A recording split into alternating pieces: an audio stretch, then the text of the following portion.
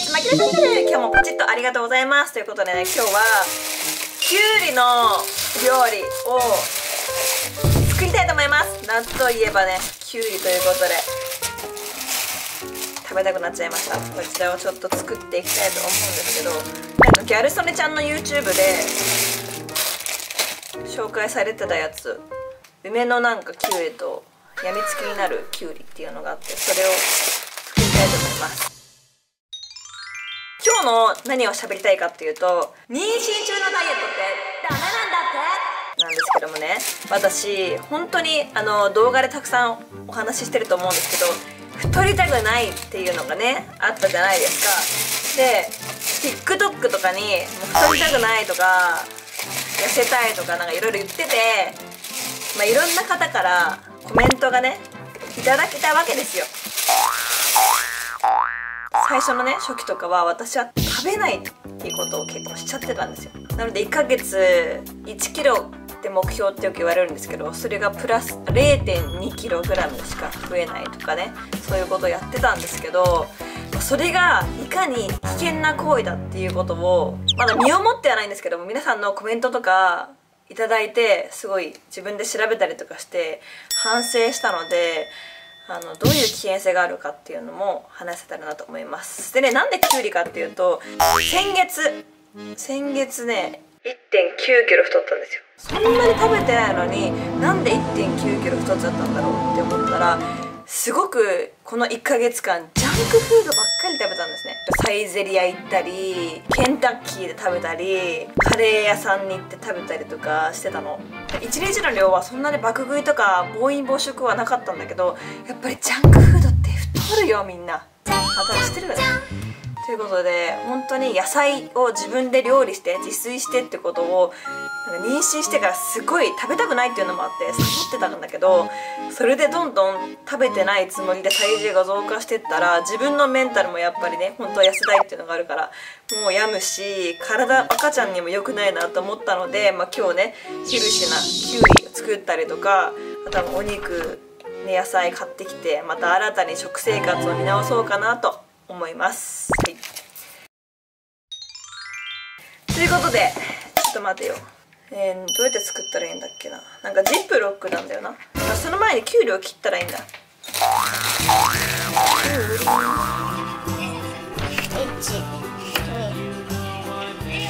なんかきゅうりってカリウムが豊富でいいんだって。何やねんカリウムってえきゅうり入るこれいいのだこれで冷蔵庫に入れよう。そしてねみんなからね本当にたくさんのコメントいただきまして太るというよりちゃんと3食食べて栄養とって赤ちゃんがしっかりと成長してればお腹の子とかで体重は増えるけど母体に脂肪がついてるわけじゃないし3食食べて栄養とった方がいい。変に抑えたり気にしすぎたりするとお腹の子が栄養を吸収してるから貧血とかで倒れちゃう。もしそうなったら本当に危ない。その通りだよね。自分がさフラフラフラになっちゃってさダイエットしてさそれでさ階段から「あれ!」とかさなんか転んじゃったりとかしたら元も子もないじゃん。反省します。正直ちゃんと食べて太っても良いから栄養をとってください。うちの子は元嫁が妊娠中に太りたくないからと食べなかったら病着で未熟児で生まれてしまいました。しっかり栄養とってください。これにはねハートがすごく多くてやっぱり世の中のお母さんは私みたいにま太りたくない方が多くて栄養をね取らずに我慢しちゃう方が多かったんだけどそうするとやっぱ未熟児で生まれてしまう。っていうね元も子もないじゃないですか。ね健康なね子供が生まれてほしいって自分は太りたくないって欲ばかりになってしまうと未熟児で生まれちゃったり病弱な子が生まれてしまうのでまあ本当に自分勝手な考えだったなって反省しました。次。栄養を取らないとダメだよ。自分だけの体じゃないよ。お腹の子を大事に考えた食事を考えてやらないとあかん。3人も産んでるからこれ絶対だよっていうねママさんからの熱いはいお説教をいただきました。ありがとうございます。そうね本当にそうだよね。私は本当に初期のことは赤ちゃんより自分のことの方が優先だったなって思いました。ダメだねえー、これがちょっと嬉しかったんですけど宝塚で活動してきたからこそ体型維持を日常としてきて今妊娠中になり体型が変わることの不安があるのかなと思いました。その通り毎日をチートデーだと思うのも一つの手かな。食べないとと思いすぎてそれもストレスにならないようにしてください。そうね。難しいよね。自分がすごいストレスになりすぎないようにでも食べなさすぎた赤ちゃんにもあの悪影響だからそこをね自分の気持ちと調節して頑張っていけたらなと思います。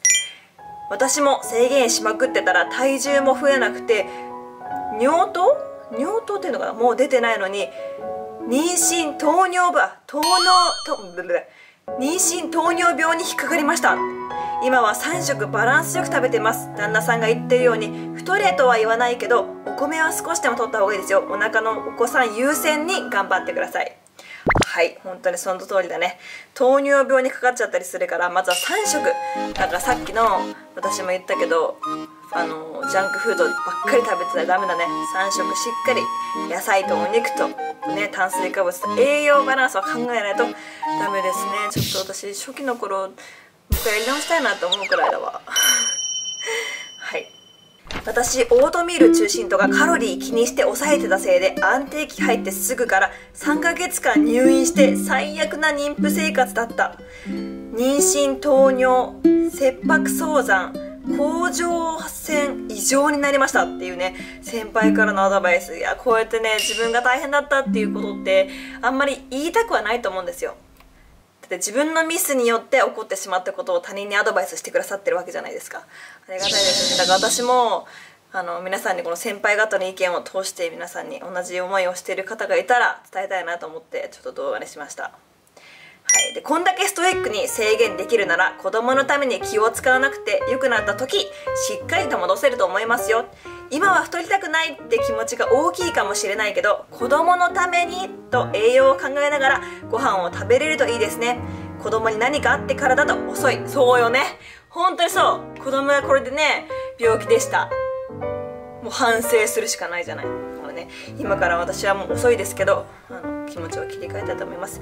でねこれネットで調べたんですけどやっぱりね妊娠した女性の間でダイエットが流行したことがありました。生まれた子供の追跡調査をした結果両親の体型に似ず肥満体型肥満傾向があることが分かりました。なんとお母さんがダイエットして産んだ子供が肥満の傾向にあるんだって。胎児がお腹にいる間母親のダイエットにより必要最低限の栄養しか胎児に届かなくなる。すると胎児は自分が生まれ出ようとする世界は貧しい餓死の世界なのかもしれないと判断しほんのわずかな栄養でも効率よく脂肪として捉えるような体質に自分自身を変化させるんだって。すごくない？ところが生まれてみるとラストは程遠い世の中である。結果胎児の時の適応が逆にあだとなり太りやすくなってしまうのである。これ聞いてびっくり。いやー子供すごいね。そういう風になってしまうのがあるので子供のためにも本当に子供のためを子供のためを思うならば皆さん妊娠中の過度なダイエットは控えてください。はい。ということでね。頑張ろう。みんな妊婦さん気持ちはもうひどくはひどくわかる。まあ中にはねそんなことも全く思わないって方もいらっしゃると思うんですけど私みたいに太りたくないってね今妊娠したばっかりの方とか初期の方とか思うかもしれませんが。まあまあ産後一緒にダイエット頑張ろう。私も頑張るから産後。はいということで1時間経ちましたのでこちら食べたいと思いますまずはこちら梅干しの方から食べます。いただきます。